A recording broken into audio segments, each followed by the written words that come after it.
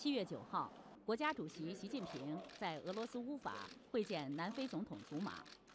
习近平表示，过去两年，我同总统先生成功实现互访，就加强两国合作作出长远规划和全面部署。中南关系保持强劲发展势头，正处于历史最好时期。中南两国在重大国际问题上保持着良好沟通和协调，我对此感到高兴。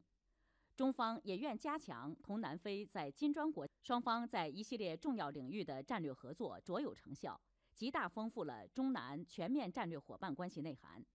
中方愿意同南方密切协作，着力推进在开发海洋经济、产业产能、经济特区、能。习近平指出，中国和非洲历来是命运共同体和利益共同体。加强同非洲国家的团结合作，始终是中国外交政策重要基石。中方愿意同非方携手努力，把中非传统友好优势转化为合作发展动力。赞同习近平主席对南中关系的积极评价。南中关系建立在高度互信的基础之上。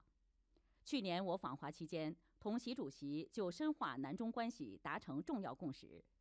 根据双方确定的合作规划。两国海洋经济、金融、农业、旅游、科技、能源等重点领域，祖马表示，南非赞赏中方长期以来对非洲国家经济社会发展的大力支持，对非洲国家在重大国际问题上立场的理解和对中非合作论坛的高度重视。